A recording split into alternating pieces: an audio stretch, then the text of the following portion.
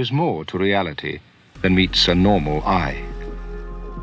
Behind the curtain of everyday consciousness is hidden another unutterably strange mental universe.